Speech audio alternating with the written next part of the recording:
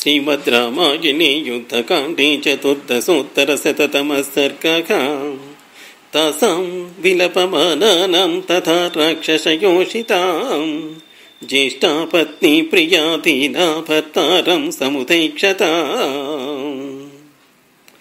दशग्रीवं कथं दृष्ट्वा रामेणाचिन्त्य कर्मणा पतिं मन्दोदरी तत्र कृपणा पर्यदेवयतु ननु नाम महाभागतव वै श्रवणानुजा क्रुद्धस्य प्रमुखे स्थातुं त्रस्यत्यपि पुरन्धरः ऋषयश्च महीदेवा गन्धर्वाश्च यशस्विनः ननु नाम तवोद्वेगा चारणाश्च दिशो गताः। स त्वं मानुषमात्रेण रामीण युधि निश्चितः न राजन् किमिदं राक्षसर्षभा कथं त्रैलोक्यमाक्रम्य स्त्रिया वीर्येण चान्वितम् अविशक्यं जघान त्वं मानुषो वनगोचरः मानुषाणामविषये चरतः कामरूपिणः विनाशस्तव रामेण संयुगेनोपपद्यते न चैतत्कर्म रामस्य श्रद्ददामि च भूमुखे। सर्वतः समुपेतस्य तव तेनाभिमर्शनम्। यदैव च जनस्थाने राक्षसैर्बहुभिर्वृतः करस्तव कतो भ्राता तदैवासौ न मानुषका यदैव नगरीं लङ्कां दुष्प्रवेशां सुरैरपि प्रविष्टो हनुमान् वीर्यात् तदैव व्यथिता वयम्। यदैव वानरो वानरैर्घोरैर्बद्धः सेतुर्महार्णवे तदैव हृदयेनाहं शङ्के राम ममानुषम्। अथवा रामरूपेण कृतान्तः स्वयमागतः। मायां तव विनाशाय विधाय प्रतितर्किताम्। अथवा वासवेन त्वं दर्शितोऽसि महाबला वासवस्य कुतः शक्तिस्त्वां द्रष्टुमपि संयुगे। व्यक्तमेष मखायोगी परमात्मा सनातनः। अनादिमध्यनिधनो महतः परमो महान् तमसः परमो धाता शङ्खचक्रगदाधरः श्रीवत्सवक्षा नित्यश्रीरजय्यक् शाश्वतो ध्रुवः मानुषं वपुरास्ताय विष्णुसत्यपराक्रमः सर्वैः परिवृतो देवैर्वानरत्वमुपागतैः। सर्वलोकेश्वरः साक्षाल्लोकानां हितकाम्यया राक्षसपरिवारं हतवां स्वां महाच्युतिः। इन्द्रियाणि पुरा जित्वा जितं त्रिभुवनं त्वया। स्मरद्भिरिव तत्त्वैरमिन्द्रयैरेव निर्जितः। क्रियतामिमविरोधश्च राघवेणेति यन्मया उच्यमानो न गृह्णीसि तस्येयं युष्टिरागता अकस्माश्चापि कामोऽसि सीतां राक्षसपुङ्गवा। ऐश्वर्यस्य विनाशाय देहस्य स्वजनस्य च। अरुन्धत्या विशिष्टां तां रोहिण्याश्चापि दुर्मते सीतां दर्शयतामान्यां त्वया ह्यसदृशं कृतम्। वसुधायाश्च वसुधां श्रियकां श्रीं भद्रुवश्चलां सीतां सर्वानवद्याङ्गीमरण्ये विजने शुभाम् आनयित्वा तु तां दीनां चत्मनात्मस्वधूषणा अप्राप्य चैव तं कामं मैथिली सङ्गमे कृतम् पतिव्रतायास्तपसा नूनं दग्धोऽसि मे प्रभो तदैव यन्न दग्धस्त्वं दर्शयं स्तनुमध्यमाम् देवाभिभ्यति ते सर्वे सेन्द्राः साग्निपुरोगमाः अवश्यमेव लभते फलम् पापस्य कर्मणः। घोरम् पर्यागते काले कर्ता नास्त्यत्र संशयः। सुखकृत्सुखमाप्नोति पापकृत्पापमश्नुते विभीषणः सुखम् प्राप्तस्त्वम् प्राप्तः पापमीदृशम् सन्त्यन्याः प्रमदास्तुभ्यम् रूपेणाभ्यतिकास्ततः अनङ्गवशमापन्नस्त्वम् तु मोहान्न भूत्यसे न कुलेन न रूपेण न दाक्षिण्येन मैथिली मयाधिका वा तुल्या वा त्वम् तु मोहान्न भूत्यसे सर्वथा सर्वभूतानाम् नास्ति मृत्युरलक्षणः तव तावदयम् मृत्युर्मैथिलीकृतलक्षणः सीतानिमित्तयो मृत्युस्त्वया दूरादुपाकृतः मैथिली सकरामेण विशोका विहरिष्यति अल्पपुण्यात्वकम् घोरे पतिता शोकसागरे कैलासे मन्दरे मेरौ तथा चैत्ररथे वने। देवोद्यानेषु सर्वेषु विहृत्य सहिता त्वया। विमानेनानुरूपेण या मृत्युनया श्रिया पश्यन्ति विविधान् देशां स्तां स्तां चित्सृङ्गम्बरा भ्रंसिता कामभोगेभ्यः सास्मि वीर वधात्तव सैवान्येवास्मि संवृत्ता धिग्राग्नाम् चञ्चलाश्रियः हा राजन् सुकुमारम् ते सुभ्रुमत्वसमुन्नसम्। कीर्ति श्रीच्युतिभिस्तुल्यमिन्दुपद्मदिवाकरैः किरीटकूटोज्ज्वलितम् ताम्रास्यम् तीर्थकुण्डलम्। मधव्याकुललोलाक्षम् भूत्वा यत्पानभूमिषु विविधस्त्रक्तरम् चारु फल्गु स्मितकथम् शुभम् तदेवाद्यतवेदम् हि वक्त्रम् न भ्राजति प्रभो। रामसायकनिर्भिन्नम् सिक्तम् रुधिरविस्रवैः। विशीर्णमेधो मस्तिष्कम् रूक्षम् स्यन्दनरेणुभिः। हा पश्चिमामे सम्प्राप्ता दशा वैधव्यकारिणी या मयासीन्न सम्बुद्धा कदाचिदपि मन्दया पिता दानवराजो मे भर्ता मे राक्षसेश्वरगा।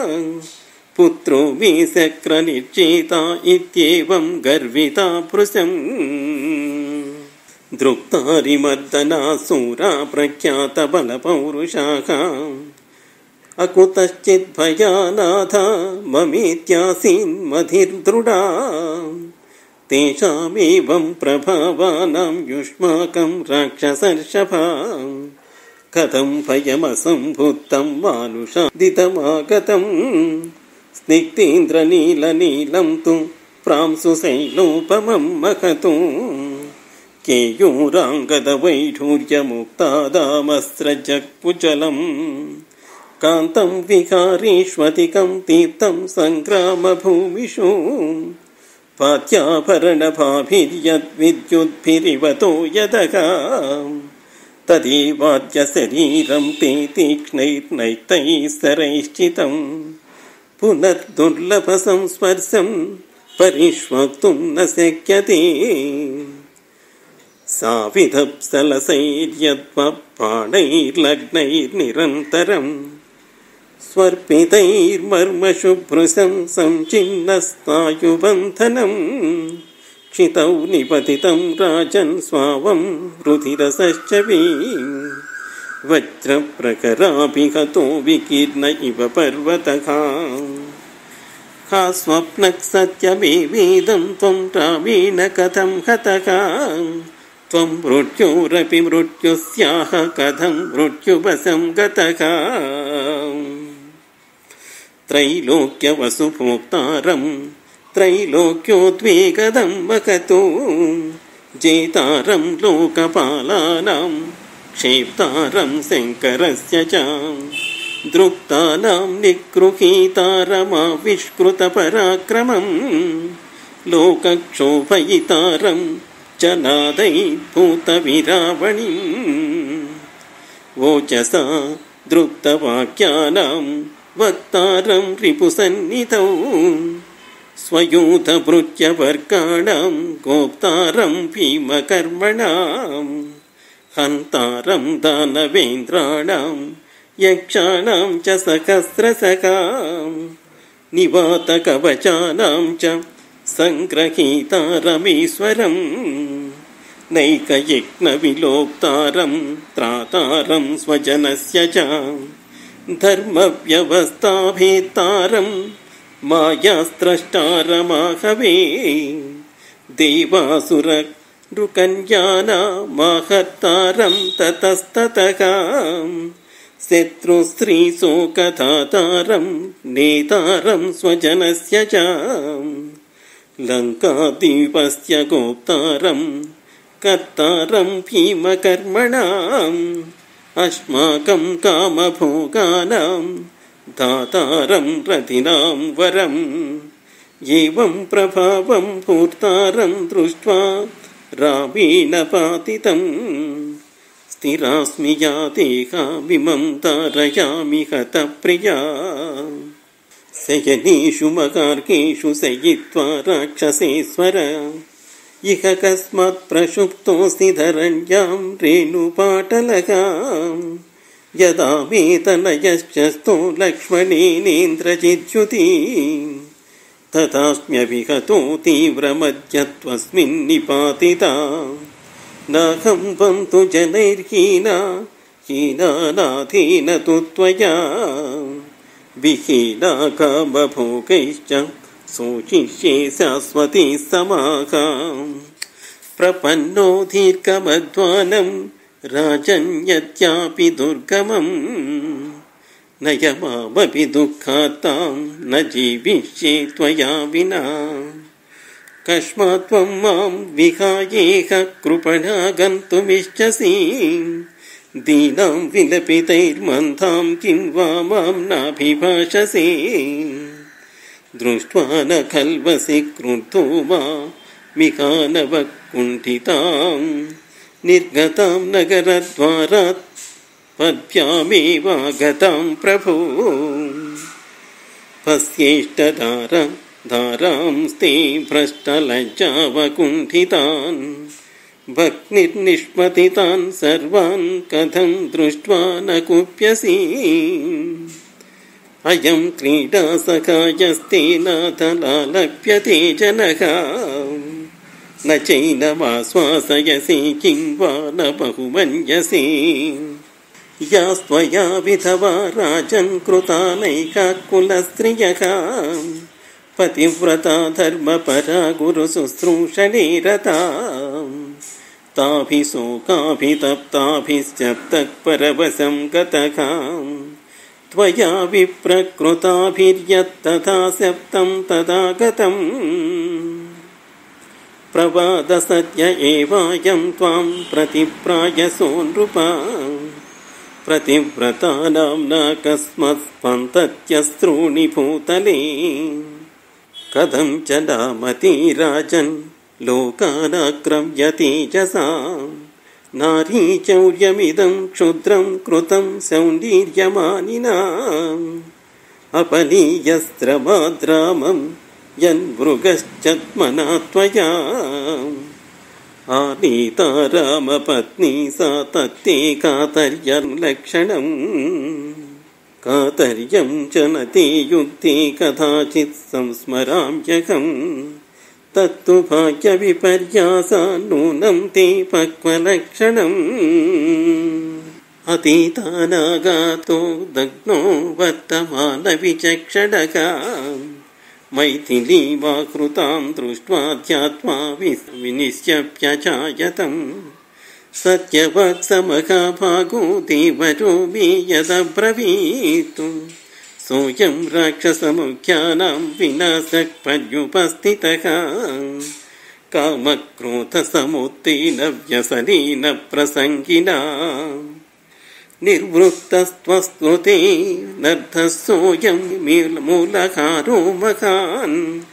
त्वया कृतमिदं सर्वमनाथं रक्षसां कुलम्। न हि त्वं शोचितव्यो मे प्रख्यातफलपौरुषः श्रीस्वभावात्तु मे बुद्धिः कारुण्ये परिवर्तते। सुकृतं दुष्कृतं त्वं गृहीत्वा स्वां गतिं गतः। आत्मानमनुशोचामि त्वद्वियोगेन दुःखिता। सुहृदां हितकामानां न श्रुतं वचनं त्वया। भ्रातॄणां चापि कार्षेण हितमुक्तं त्वया नखा हे त्वद्दयुक्तं विधिवश्रेयस्करमदारुणम् विभीषणेनाभिहितं न कृतं केतुमत्वया। मारीच कुम्भकर्णाभ्यां वाक्यं मम पितुस्तदा न श्रुतं वीर्यमत्तेन तस्येदं फलमीदृशम् नीलजीभूतसङ्कास पीताम्बरशुभाङ्गदा स्वगात्राणि विनिक्षिप्य किं शेफेरुधराप्लुतः प्रक्षुप्त इव शोकार्तां किं मां न प्रतिभाषसे।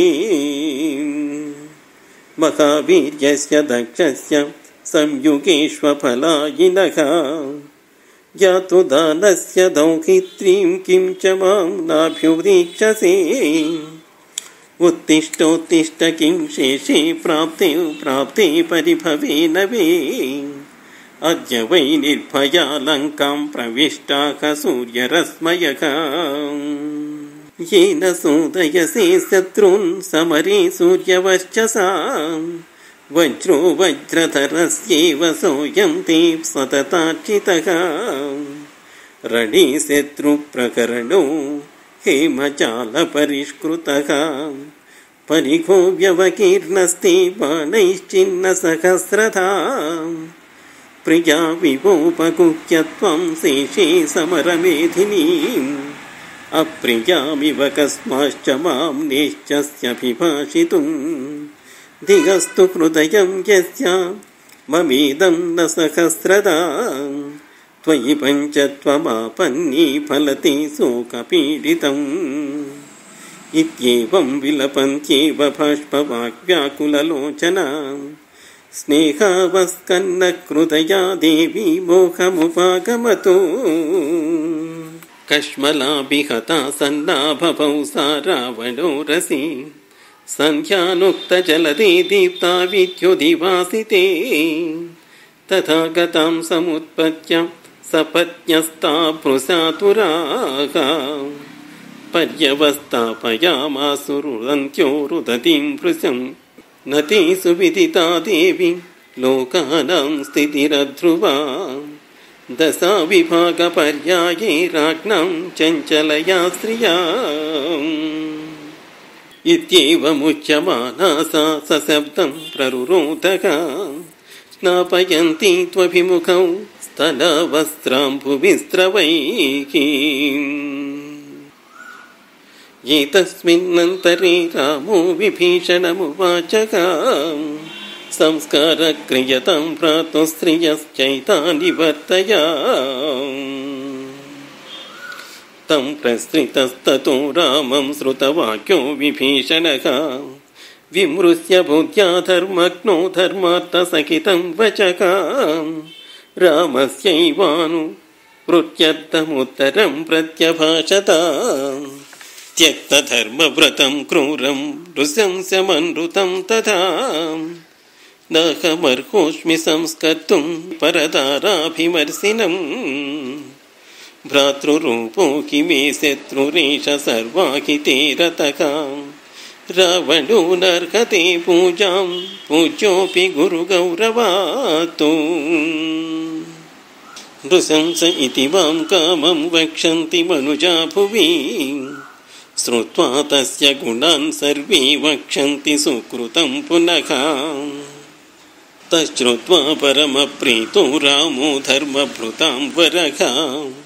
विभीषणमुवाचेदं वाक्यज्ञो वाक्यकोविदम्।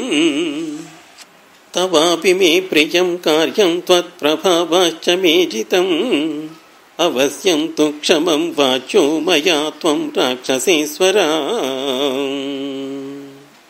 अधर्मानृतसंयुक्तः कामं त्वेषनिशाचरका। तेजस्वी बलवान् सूरः संयुगेषु च नित्यसखा। शतक्रतुमुखैर्देवैः श्रूयते न पराजितः महात्मा बलसम्पन्नो रावणो लोकरावणः। मरणान्तानि वैराणि निर्वृत्तं न प्रयोजनम्। क्रियतामस्य संस्कारो ममाश्चेष यथा तव। त्वत्सकाशात्तसग्रीवः संस्कारं विधिपूर्वकम् प्राप्तुमर्हति धर्मज्ञत्वं यशोभाग् भविष्यसि राघवस्य वच श्रुत्वा त्वरमाणो विभीषणः संस्कारेणानुरूपेण योजयामान रावणिम् चितां चन्दनकाष्ठानां पद्मकोशीरसंवृताम् ब्रह्म्या संवीसयां चक्रूराङ्कहवास्तरणामृताम् वर्तते देवविहितो राज्ञो वै पश्चिमक्रतुः। प्रचक्रु राक्षसेन्द्रस्य पितृवेदमनुक्रमम् वेदिं च दक्षिणप्राच्यां यथास्थानं च पावकम्। पृजदाच्येन सम्पूर्णं स्रुवं सर्वे प्रचिक्षिपुः। पादयोस्य कटं प्रातुरन्तपूर्वोरुरुलूखलम् दारुपात्राणि सर्वाणि अरणिं चोत्तरारणिम् दत्त्वा तु मुसलं चान्यध्यदास्थानं विचक्षणाः। शास्त्रदृष्टेन विधिना महर्षिविहितेन च तत्र मेध्यं पशुं हत्वा राक्षसेन्द्रस्य राक्षसाः। परिस्तरणिकां राज्ञो कृताक्तां समवेशयन् गन्धैर्माल्यैरलङ्कृत्य रावणं दीनमानसाः। विभीषणसहायास्ते वस्त्रैश्च विविधैरपि। लाज्यैश्चावकिरन्ति स्म बाष्पूर्णमुखास्तदा ददौ च पावकं तस्य विधियुक्तं विभीषणः।